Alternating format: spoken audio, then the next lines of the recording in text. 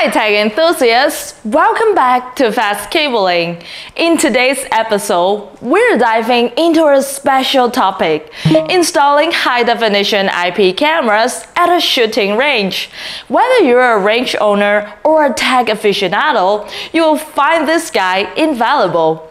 Now before we get started, I've got an exciting offer for all of our viewers.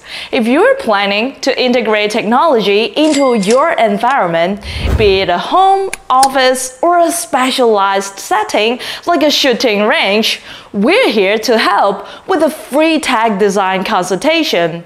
And our team of experts will work with you to create a customized tag setup that meets your unique needs.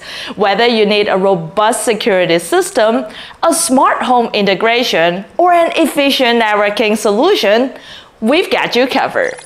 So shooting ranges have unique needs when it comes to security and monitoring. The primary reason for installing IP cameras at a shooting range is to enhance security, monitor ongoing activities, and most importantly, allow shooters to remotely access video footage of their target. And this not only improves the user experience by providing live feedback, but also ensures safety and compliance with the range rules. And before we dive into the specifics of the IP cameras, so let's briefly overview the different types of camera out there. Now we have analog camera, which are the traditional type, digital cameras, and then we have the IP cameras, which are what we recommend for a shooting range because of their advanced features.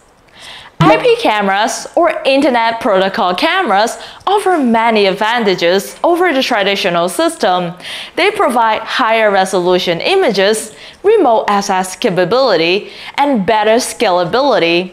For shooting range, Key features include high-resolution imaging for target visuals, and robust design for outdoor environment and long-range connectivity option.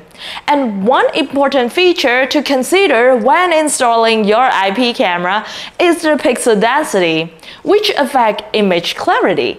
Pixel density refers to the concentration of pixels on the display or within the camera's sensor area. Measured in pixels per inch, and higher pixel density means better image clarity, which is crucial for seeing the fine details of distant targets. So for a shooting range, we recommend a 6 to 22 millimeters lens bullet camera. And why? These cameras are not only weatherproof but also come with rugged design perfect for outdoor use. And they can handle the environmental challenges of a shooting range while providing excellent zoom capability. And placement is key. The right placement ensures that all areas are monitored effectively without any blind spot. For shooting range, cameras should be placed to cover each lane and focusing on the target. So placement also must consider the long distance between the target and the monitoring sites. So to address this long distance challenge, we decided to use the long range PoE switch. Now let's follow the Ethernet cable and go to our monitoring sites. This technology allows us to extend the distance up to 300 meters, way beyond the standard limitation. And the best part is, no extra power supply is needed for each camera, as power is delivered directly through the Ethernet cable to the PoE pass-through switch and our long-range PoE switch utilizes four twisted pairs of the wire in the Ethernet cable, ensuring efficient and power data transmission without any loss over the long distance. This setup not only simplifies the installation, but also reduces maintenance costs. So now let's look at the setup in real life. So now as you can see, our long-range PoE switch is connected to the router and the NVR as well. So you can get internet access and also display the video footage on the monitor. And keep in mind, port 1 and 2 are the long-range PoE port. So I already plugged in the 300 meters Ethernet cable to port number 1. This is a big wall of 300 meters. So let's follow the Ethernet cable and go all the way to our target sites. Now here we have the 300 meters Ethernet cable connected to our PoE adapter. Now we'll need this adapter to send back the long-range signal to the long-range PoE switch. And for each long-range PoE switch, it comes with two PoE adapter. So it is already going through in here and this is PoE output port we are going to connect it to our PoE pass-through switch. Now this pass-through switch has an IP67 waterproof casing and also has a heat dissipation hole so there's nothing can get in, only the heat can get out. And keep in mind port number 8 here is the PoE input port. So now I'm going to plug in the Ethernet cable here from the PoE adapter here we have the gland and this is a rubber so we don't need to worry about the water gets in and twist it. When you do the installation you can also use a wrench to fasten it up. Let's plug it into the port number 8 and instantly we can see the indicated light is on. So now the PoE pass-through switch is getting the power and the data that it needs and it's going to supply for three of our bullet camera through this single ethernet cable. So looking at here, it is connected to the first one, the second one, and the third one here and we can see the indicated light is on and there's nothing else needed. There's no extra power supply, only the ethernet cable. So it is time to go back to our monitoring site and we are going to display the video footage. So after we hit the search button, we have three cameras. So let's hit the add button to simply add them to our channel.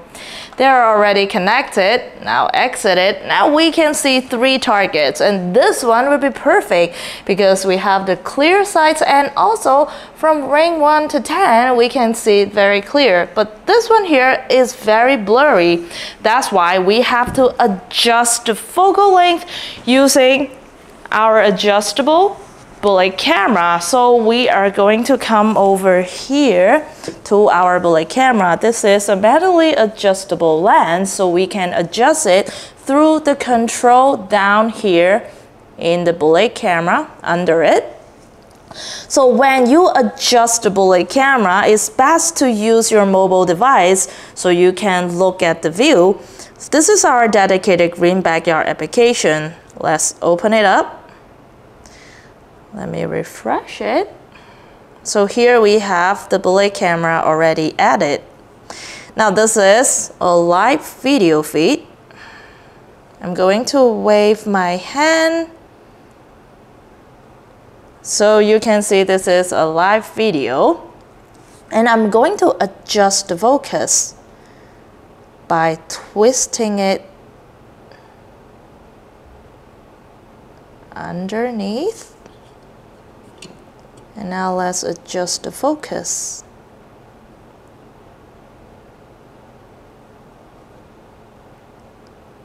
You'll need a little bit of time. And make sure you do it slowly, otherwise it won't be clear.